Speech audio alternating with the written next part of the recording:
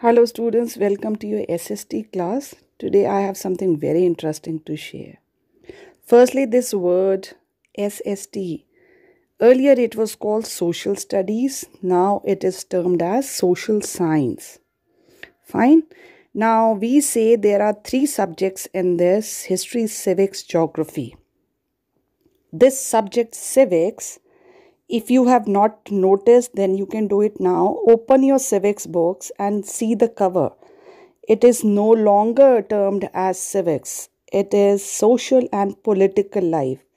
That is the new name for that subject. Uh, since few years, it's not that only this year this name has come up. The NCERT authorities believed that civics subject only focused on government and its functioning but this new social and political life, short form is SPL, subject focuses on topics related to social, political, and economic life in modern contemporary India. You must have seen images of this kind in your books, in your lessons. All these are the case studies of actual life taken related to that topic. Now, why they have been taken to create interest among the students and relate this subject to real life. That is the main point to create interest among the readers. And who are the readers? You students. Fine.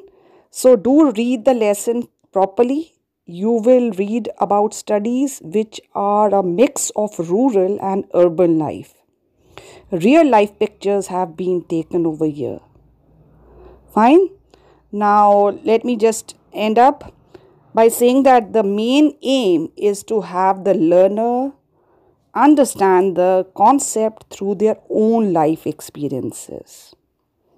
That's all from my side. Now, happy reading and happy learning.